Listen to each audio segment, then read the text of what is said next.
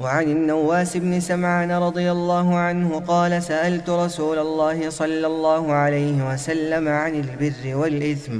فقال البر حسن الخلق والإثم ما حاك في صدرك وكرهت أن يطلع عليه الناس أخرجه مسلم.